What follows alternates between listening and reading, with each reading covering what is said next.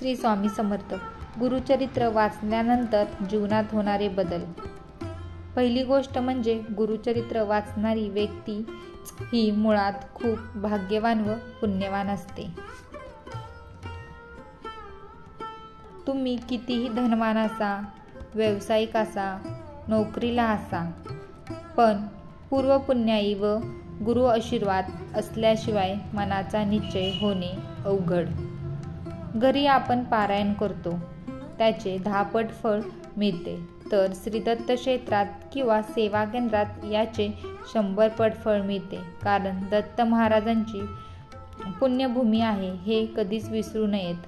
तुमच्या मनात कुठलीही इच्छा असू द्या. मनापासून संकल्प करून गुरुचरित्र वाचल्यास शंभर टक्के पूर्ण होतेच.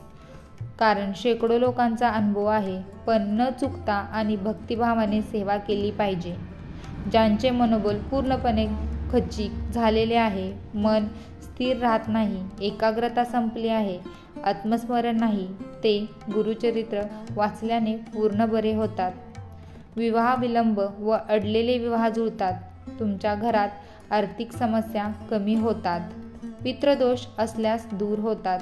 पती पत्नीमधील वाद भांडणे कमी होतात. श्री स्वामी समर्थ.